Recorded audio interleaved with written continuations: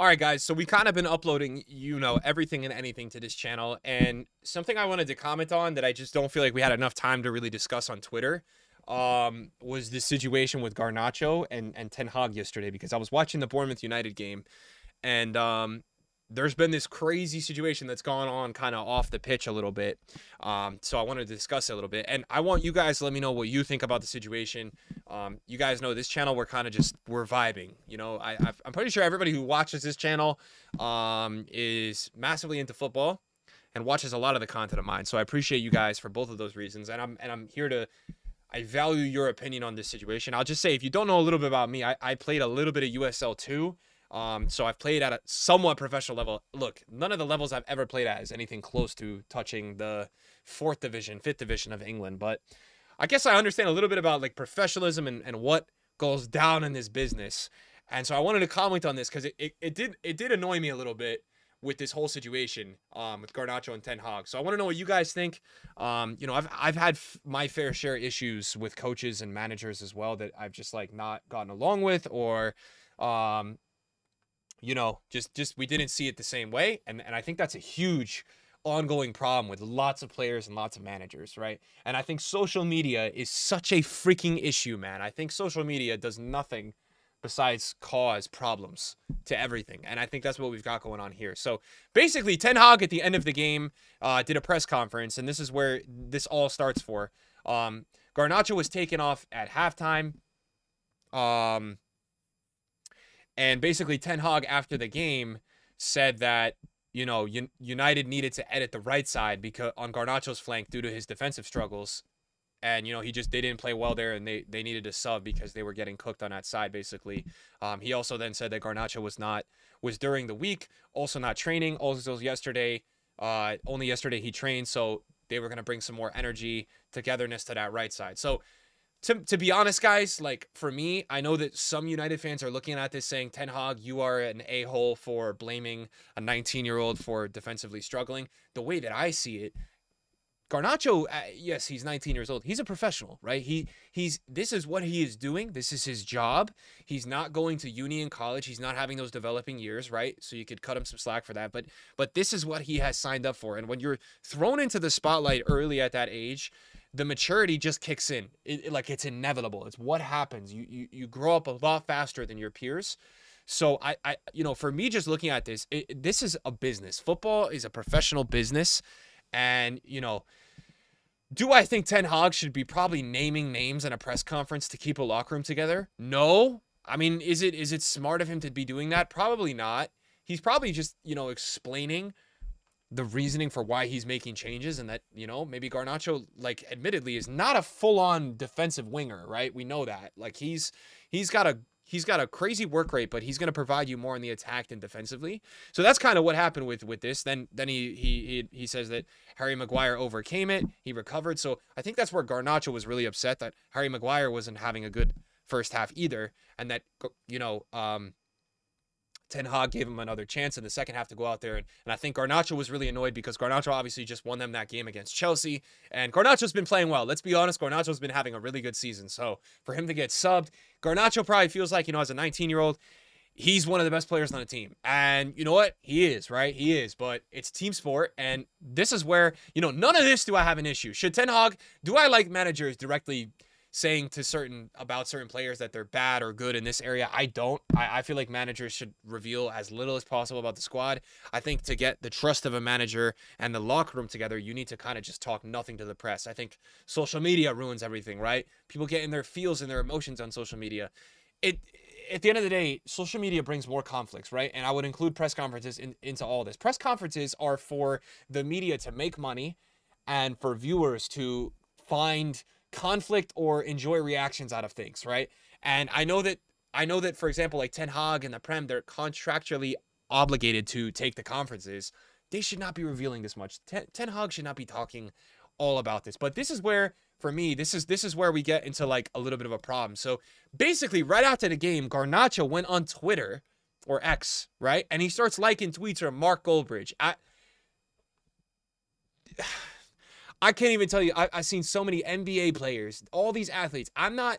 I'm not in the position to be able to tell what these guys should and shouldn't do in their lives. But as a professional footballer, you should not be logging on to not only your 700,000 follower social media account, millions of people are looking at what you're saying after the game, right? And and that's why Garnacho as a 19-year-old has done this. It's his idea of subtweeting. It's his idea of of getting out of his system frustration he has towards the situation. He's got he's got a lot of frustration that he's taken off at halftime. He feels like he's way more deserving than that, and he probably is. But as frustrated as you are in the worst moments, like I've had a coach that drove me so crazy one time. The stuff this guy was doing to our team, the stuff this, and not like, all right, not in like a bad, like anything illegal way, just just the stuff this guy was doing tactically, the way this guy acted, I couldn't stand this guy. He thought he knew everything what was going on, and he didn't know one thing what he was doing. He's playing players out of position. He was making subs at the wrong time. We had guys on our team, top level players that probably could have ran a team better than him, that knew the tactics, that knew how to get the best out of everybody. And what this coach would like to do is turn everybody against each other. This coach had none of the locker room. He had his favorites. I'm sure you guys had coaches like this, right? But at the end of the day, I never complained to anyone outside of the team. And I never said anything publicly because that's how you act. That's what it's got to be. If the manager, yes, Garnacho can feel like the manager went to the press conference to to really like stitch him up. I don't really think that. I think I think that Ten Hag was basically just saying we needed somebody more defensive in that position, and he made the adjustments at halftime. So I know that Garnacho feels the brutality of this, but for him to go on Twitter and start liking Mark Goldbridge's tweets, like what are you doing, man? Garnacho has been one of our best players this season. Poor first half, but taking him off at halftime and holding him up as the problem is is a joke. Okay, I think it's a little out of context here. Was as a joke. Many have done much worse week in and week out and are still out there. I agree. I'm going to tell you right now, and anyone that's watching this video, I agree with Mar- with what Mark Goldbridge is saying. But Garnacho, you dude, you cannot go on Twitter and like this stuff, man. This is, but this is the problem, and this is the problem I'm noticing with a lot of the modern players, and it's different than it was 10, 15 years ago. We didn't have these players doing these kind of like emotional online media protests and crap like this, bro. You're not going to always like the way a manager at the end of the day this is a sports business and a manager is hired to manage the team.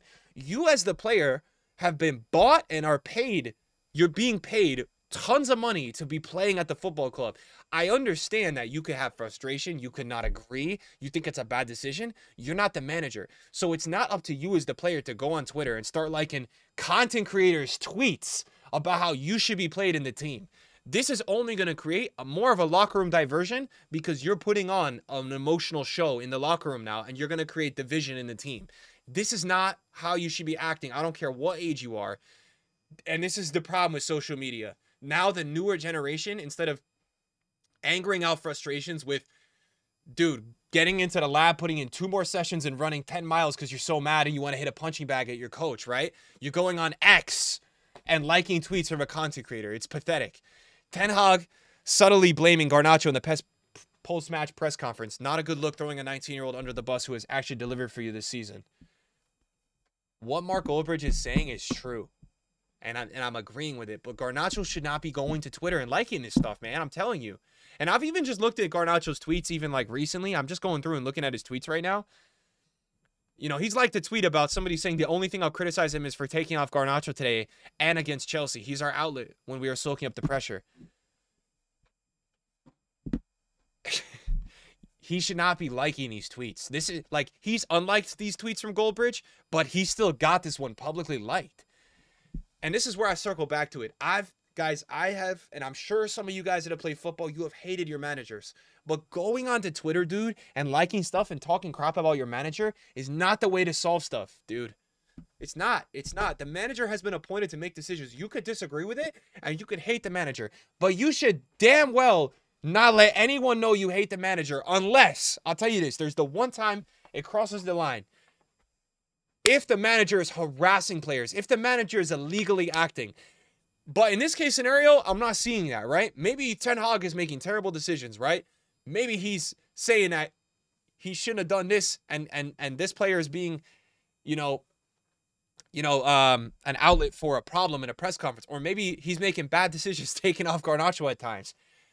But it's not it's not Garnacho's job to go on Twitter. And that's why I seen these likes. He's only got 53 likes. I mean Like it's annoying me it's annoying me and we've we've already seen you know and and this is the thing that like I hope Garnacho can stop doing stuff like this because it, it is a lot. It is a lot at a 19 year old to go and be from one of the most prominent footballing countries, right? Argentina.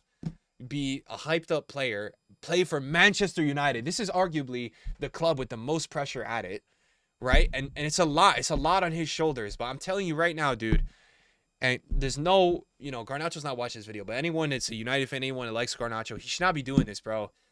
He should not be doing this. This is not how you're gonna act, bro. You gotta let nobody know. You gotta let nobody see your cards. It's very important. It's very important because now what happens? This is what happens based on this, right? You guys watching this video, and me included, we don't know what the hell is going on in United locker room, but here's how we perceive it. Let's say I love Garnacho. Let's say I'm a United fan and I see his tweets. What am I gonna do now? I'm not gonna support Ten Hag. I'm gonna start being an a-hole to Ten Hag. I'm gonna start trashing him. It's not a healthy environment. It's not a healthy environment with the club. And it doesn't matter even if you disagree with what Ten Hag is doing, because there's times where I've said, what the hell is Ten Hag doing? It doesn't matter. It's creating hostility in the environment because now people are thinking, okay, Garnacho doesn't like Ten Hag. Garnacho hates Ten Hag. I'm sure other players hate Ten Hag. Let's trash Ten Hag. It creates a division in a team. It creates a lot of problems. So I just want to weigh in my opinion. I don't know. What do you guys think about this? What do you guys think? I don't like that this is still in his likes. Um, look, scroll down. Man United can see yet again after subbing off Garnacho in the 80th minute. Not only is his defensive work rate overlooked, but when he comes off, we invite more pressure. And and here's what I'm saying. I don't disagree with this. But should you be playing for Manchester United and putting this in your likes on Twitter? Is this healthy for your teammates and your team and your manager and everybody, even if the post is right? Let me know what you guys think. See you later.